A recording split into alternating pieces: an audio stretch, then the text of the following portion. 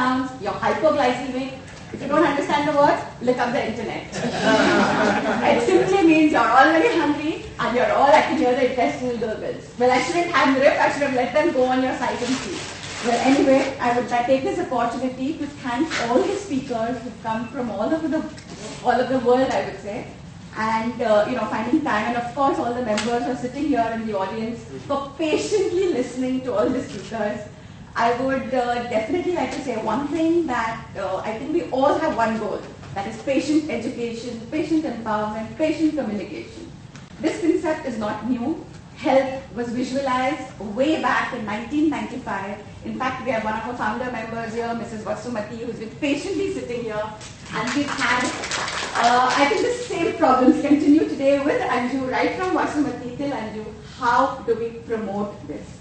We all, it's a very nice thing to know that it's not just doctors today who are here, but patients from, I mean, speakers from all the fields who have come here.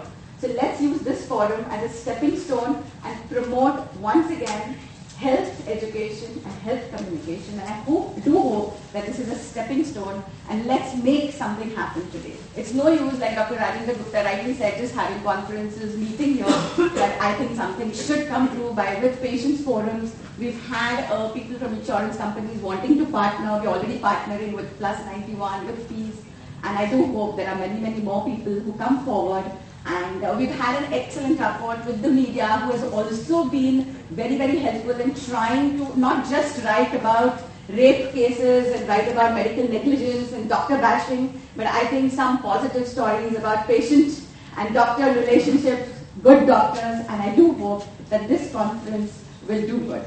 Thank you very much. And before I end, of course, I would like to thank Anju Chandiramani and all the members of my health team who have done really worked hard for this conference and done a wonderful job. Thank you so much.